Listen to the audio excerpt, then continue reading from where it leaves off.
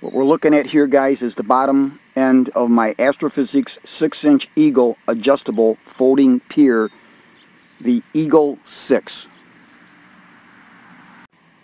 What I want to do is put some rubber on these feet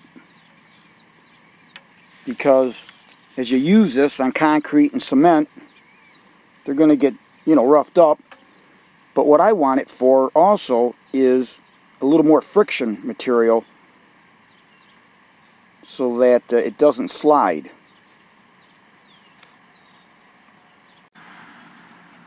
If I'm using this aluminum plate on the ground when the, it's really soft so that it doesn't sink in, I want to have that material, that friction material between it and the leg.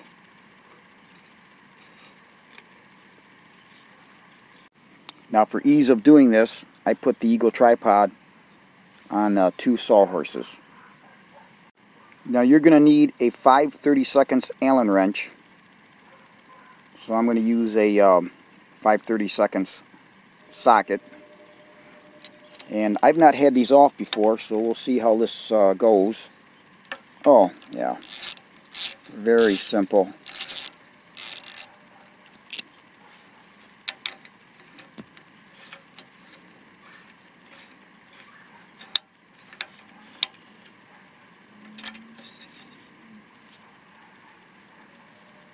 That's they got this shoulder bolt that goes through there. That allows for a nice smooth operation. Here you see that shoulder bolt through the uh, leg. And now that they're off it'd be a good time to clean those up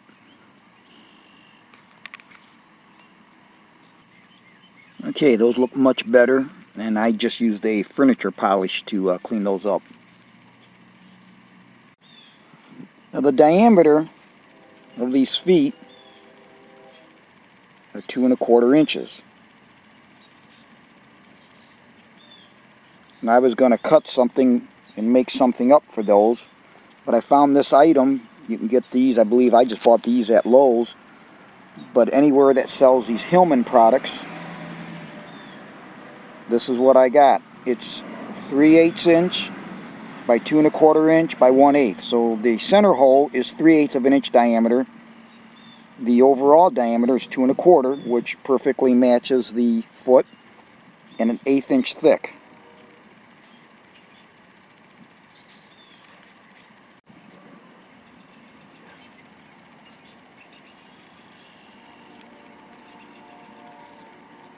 I mean, that is perfect just just what the doctor ordered. I mean, don't don't have to do anything. No trimming. This will look perfect. No rough edges. The next thing is what will I use to attach these to the bottom of those uh, feet. Now I didn't want this to be a permanent thing. I, I needed it to be able to come off should the rubber wear or get torn for some reason. And if I were to use epoxy, two-part epoxy like you see there, good luck. So I found this product. Again, I just happened to find it at Lowe's. And I haven't used it uh, yet. Never have never used it before and haven't tried it yet. But I believe this to be basically a spray contact adhesive. And they had different uh, versions there. I, after reading it, looking at it, I just decided to use the uh, 3M Super 77. And contact cement actually was one of my the things that I was going to use. The issue with contact cement is if you don't use it much and you buy a I think this was like $10, $9.99. But if you buy contact cement and you don't use it up, and I've used gallons and gallons and gallons of contact cement back in the day when I was a carpenter, so uh, I went through hordes of it. But if you don't, it tends to dry out and it's useless. So I thought, let's just try this option here. As you can see, the bottom of these feet are, are all roughed up. But I want to rough up the interior area too, as that's going to be part of what is going to be glued also with that rubber washer. Alright, so I happen to have some pre-cut, that I pre-cut uh, sandpaper for my Porter Cable block sander. This is 50 grit, so I'm just going to do something like this initially to get the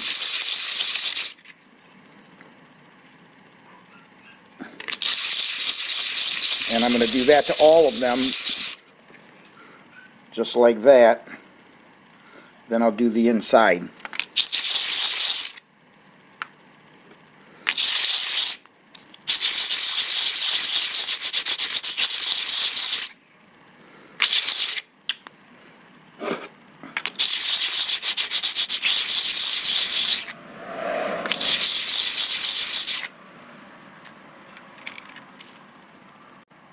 Then I need to rough up that center. So I'll uh, do something like this. Because you want to have it, you don't want it real smooth. You want it to be able to grip.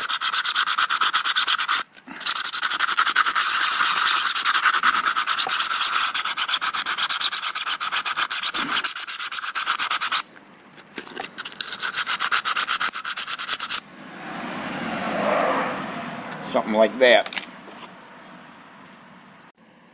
Then what I did is I used some shop air and made sure I blew all these off to eliminate any dust and dirt from the uh, sandpaper grit.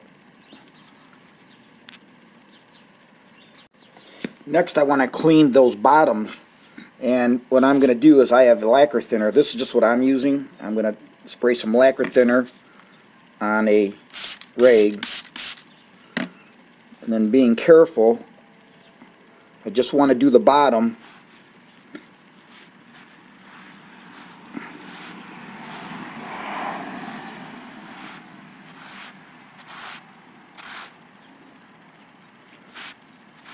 clean rag that I'm setting them back down on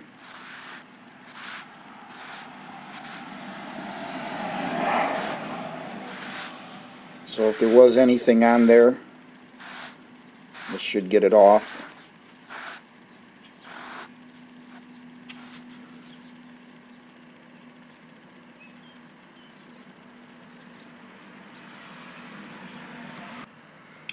We also have these rubber washers that I want to get off if there's anything from manufacturing. I want to make sure that those are perfectly clean. And so don't have to be too careful with this. We can do both sides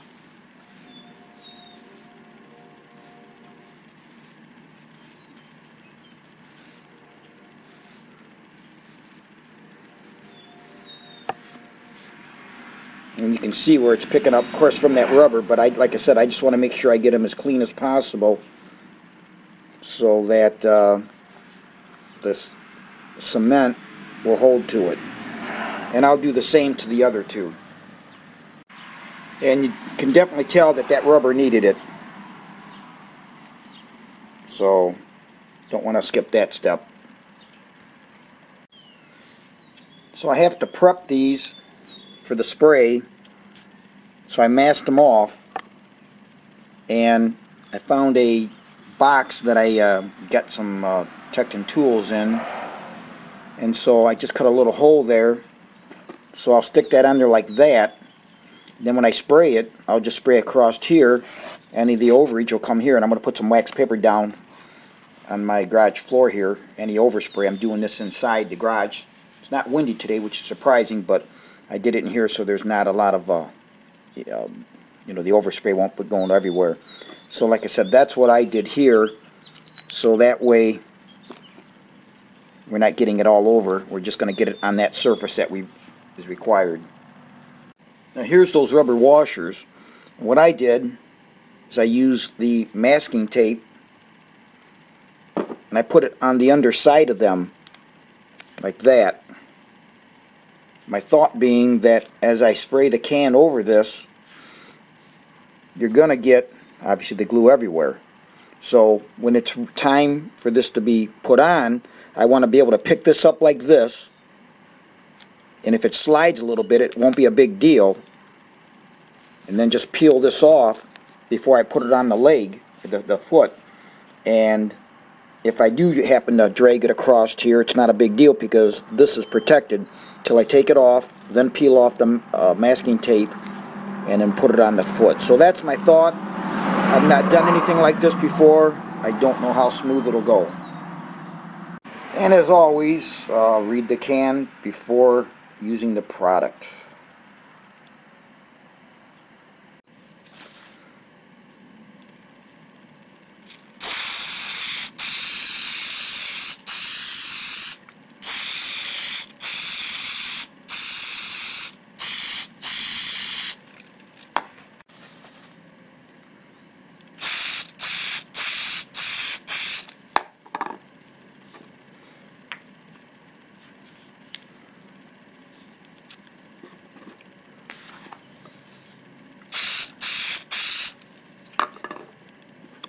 I'm not sure if I'm getting that too thick, but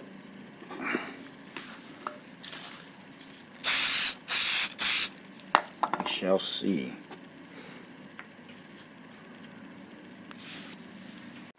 Now one thing to help test this, you can see that's picking up, so that's that's not dry. Okay, so you want to be able to touch this is just like contact cement. You want to be able to touch that and not come up. So we're just going to let that set a little bit. Another thing is make sure you've got your cleaner. Just that little bit on my hands and stuff, it's very tacky and sticky, so you don't want to get that all over. So again, I'm using lacquer thinner. That may not be the best thing for you to use. Um, I don't care if it dries my hands a little bit. It's not a big deal, but that's what I'm using on a rag to clean because I'll tell you that stuff is that stuff is very sticky.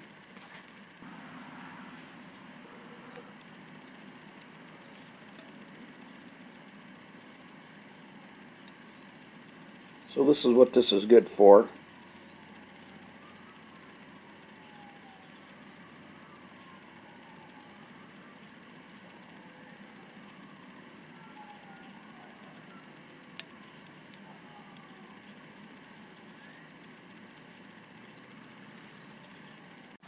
Okay guys, it looks like it's about ready. So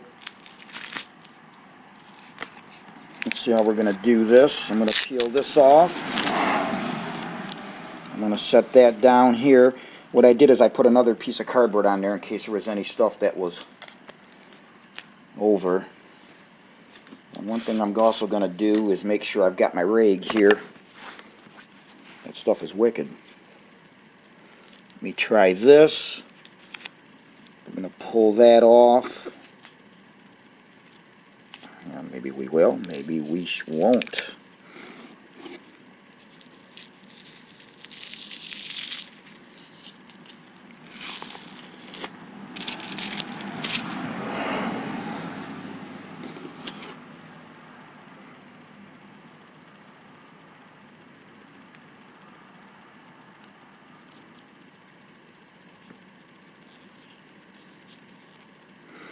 Now what I'm also going to do, wipe my hands here, stuff is sticky. So the next thing I'm going to do, wow,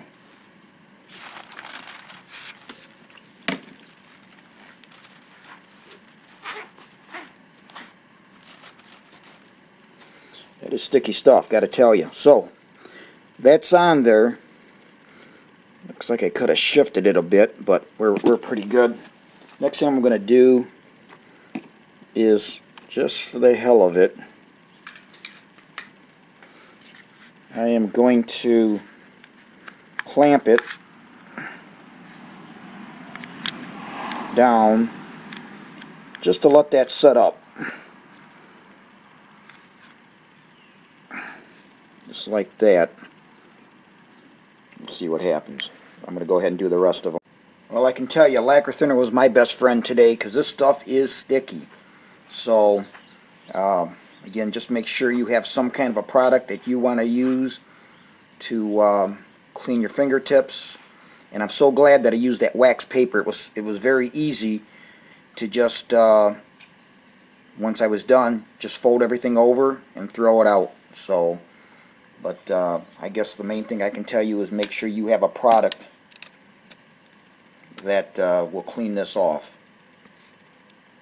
Okay guys, the sun has come out. It's starting to warm up nicely. And I couldn't be happier with the way these turned out. And I just clamped them up for maybe 15-20 minutes just for the heck of it. Don't know that you need to do that. But you, you can see all that, you can see that uh, how that uh, configured to the form of that foot because it was dished out. See there, when I show that in the sun? You can see where that dished out right here. And then it dips down a little bit. So that stuck down there really nice. And again, by using that type of glue, uh, if I ever need to take these off, epoxy wouldn't be worth a damn. You don't want to use epoxy. So, anyways, let's put them on.